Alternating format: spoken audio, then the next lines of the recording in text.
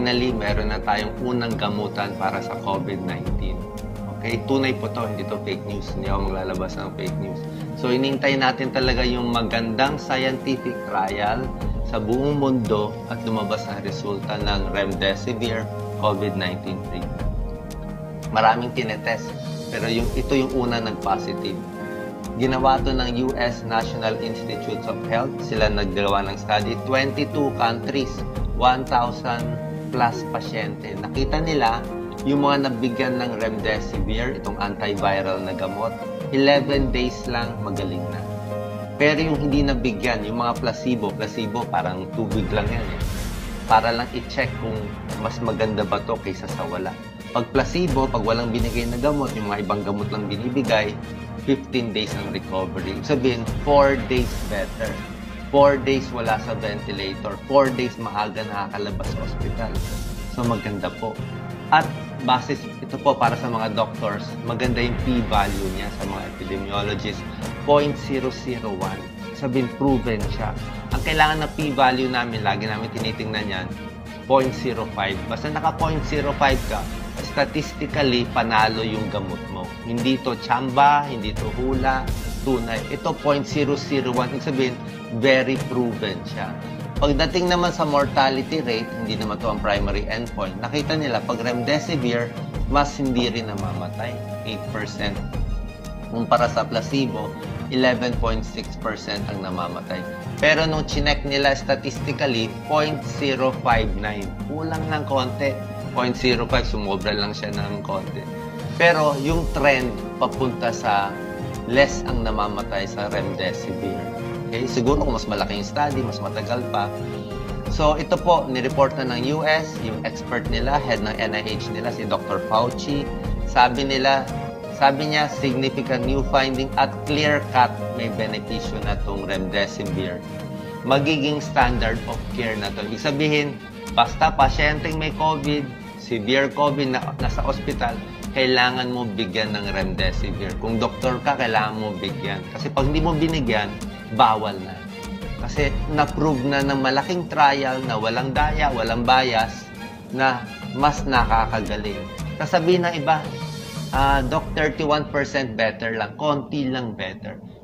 Kahit konti lang better, o pwede na yan. Kasi umpisa pa lang. Sabi nga ni Dr. Fauci, parang yung nangyari sa HIV. Eh. Kasama din siya doon sa nag-test ng gamot sa HIV. Dati pag HIV AIDS, death sentence, walang gamot.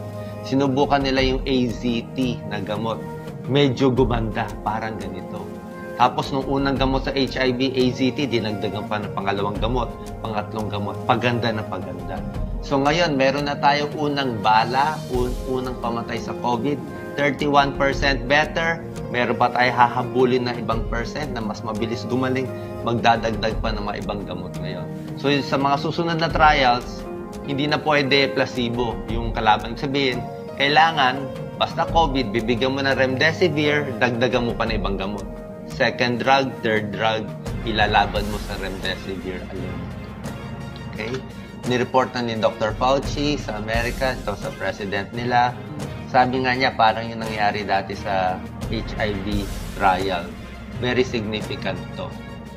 So, 15 days, pag placebo ka, pag walang ibigay, pag remdesivir, 11 days, 4 days, at very significant sa 1,000 plus. Mortality rate, pag walang remdesivir, 11.6%, ito 8%. At 22 countries, US, I think 41 states, at may 21 other countries sa Europe, sa Asia. At ang maganda dito, na-review siya maigi. Meron pang Independent Data and Safety Monitoring Board. Ibig sabihin, hindi yung mga kasali sa trial ang nag, nagmo-monitor. Meron tagabantay na independent na naghuhuli kung nagdadaya ba yung data, meron bang bias, at nagsabi yung board noong April 27. Nakita nila, after several weeks, yung mga nabigyan ng remdesivir, mas gumagaling. Kaya sabi ng board, tigil na yung trial. Anong, anong sabihin tigil na? Itigil na kasi sobra ng panalo ang remdesivir.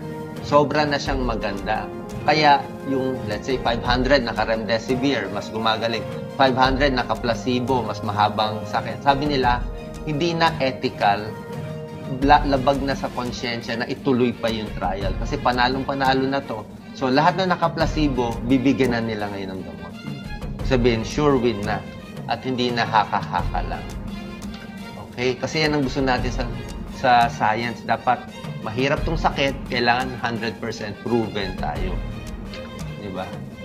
Tsaka ngayon, marami na silang papagawa ng gamot na ganito. To.